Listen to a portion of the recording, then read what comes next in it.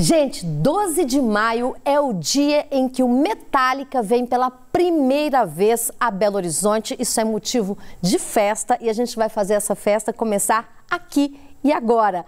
Porque na coluna Bônus Cast do Terence Machado, que está aqui comigo, temos um convidado especial, que é o Adriano Falabella. Esses dois sabem tudo de rock and roll, não é? Bem-vindos! Valeu, Dani, sempre ótimo. Sempre. E aí, o que, que a gente pode esperar do Metallica, gente? Fala, ah, Bela. Bom, uma banda super consagrada, né? Com 40 anos de estrada. É um show mais do que profissional, né? Não tem erro. E, logicamente, eles vão desfilar todos os hits da carreira desde 83. E, claro, músicas novas, músicas ali dos anos 90 Vai ser espetacular.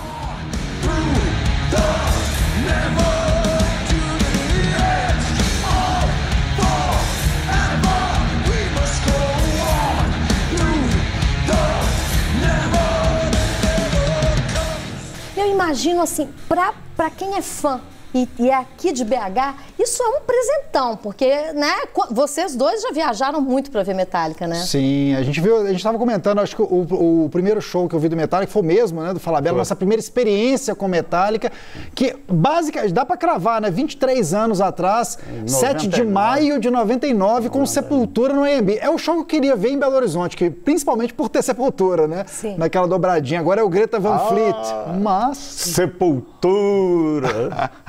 ah! Né? Aí eu vou te contar a história. Conte. Que eu te falei, você não sabe dessa história. Sabe como é que eu conheci o Metallica? Como? Em 1984. Eu tinha um Fusquinha e toda quinta-feira tinha uma feirinha hip na Praça Duque de Caxias, no bairro de Santa Teresa, aqui em Belo Horizonte. E lá eu conheci uma turminha, eu era um pouco mais velho, né? Já meio tiozinho. Eu conheci uma turminha que estava começando a entrar na onda do heavy metal, né?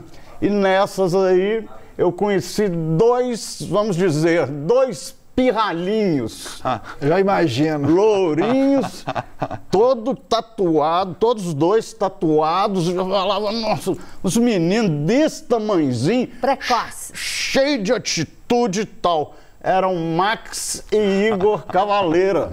Que isso! Nem existia sepultura. No, no berço deles, em Santa Teresa, né? Ali. Não conhecia Metallica, nem sabia o que era thrash metal. Uhum. E aí conheci os dois. E eles ficavam doidos, né? Ficava do lado do meu carro e eu pondo as fitas, Black Sabbath, Deep Purple, é, Led Zeppelin e tal. Uma bela quinta-feira, o Max Cavaleiro me chega com uma fita.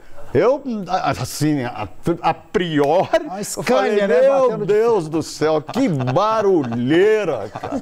Eu não gostei de jeito ah, nenhum. É? Não foi amor à primeira vista? Não. Ao mas primeiro som. foi, foi é. tocando a fita até chegar na Fade to Black, ah. que é uma música mais lenta, que depois ficou famosíssima. Então, aí eu já gostei. É, e comigo tem essas conexões, aproveitando até a sua camiseta, o Iron Maiden, porque eu já gostava de heavy metal, eu comecei, peguei aquele embrião da Cogumelo, né, também, enfim, é, nem sabia o que eu ia fazer, eu, já, eu tinha banda na época, mas eu estava começando a comprar os discos e mergulhar nesse universo, primeiro do heavy metal, né, a, a, a, como é que fala, a escola inglesa primeiro ali, né, Iron Maiden, Saxon, eu gostava mais daquelas bandas, não tinha alcançado esse som mais poder, mais pesado mesmo do thrash metal, é, do Metallica. Trash. Entrando na Cogumelo, eu vi, e tava o pessoal escutando muito Kill Em All, né? Muito, muito, muito, assim. E eu falei, cara, isso é muito barulho para mim. Ainda talvez eu chegue lá, né? E foi a mesma coisa. Nesse sentido, foi muito parecido com a experiência do Falabella. Eu fui escutando os álbuns e tal, até. E o, o Metallica vale a gente dizer, né?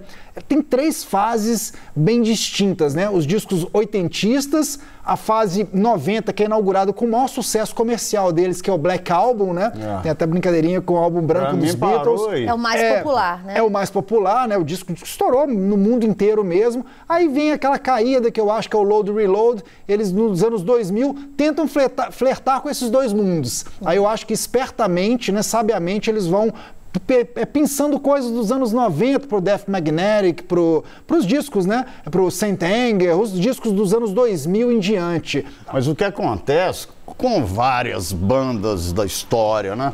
Os caras a juventude vai ficando para trás, né?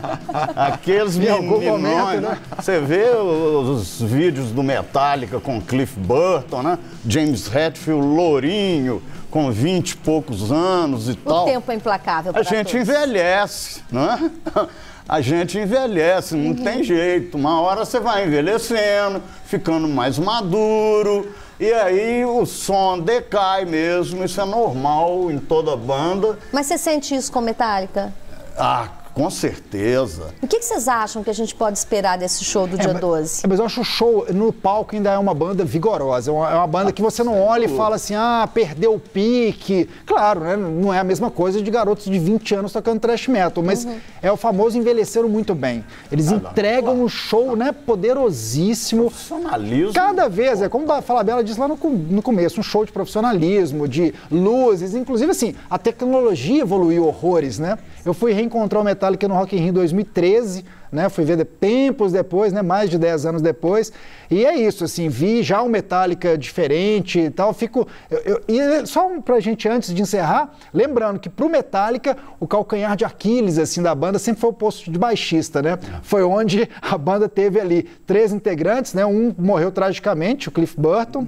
Na, Jason Newsted. Aí entra o Jason Newsted. E a passagem pro diga lá, pro Robert Trujillo, só que não. muita gente não sabe, um milhão de dólares né, é, pro é. Robert Trujillo entrar na banda.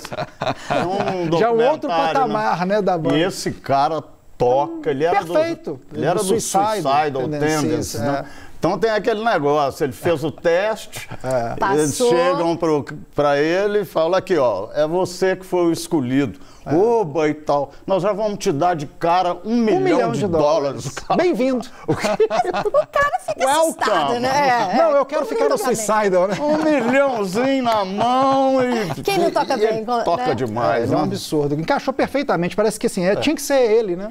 Ô, gente, que prosa maravilhosa e eu queria continuar, mas tá na hora de dar tchau. E a gente dá aquele tchau hoje, né? Esperando a galera toda no dia 12. Isso. Eu quero ir, eu vou com vocês dois, Sim, tá? Vamos embora, vamos embora. e vamos continuar o assunto. Continua amanhã no alto-falante. Ah, Para quem estiver nos assistindo inédito no Agenda, a, a bola continua, mais, a gente bate mais, a gente continua esse papo. Sábado é no alto-falante, às duas da tarde. Muito Isso obrigada. Aí, valeu, Dani, sempre barato. Obrigada, Fala Bela. Obrigada, Terence.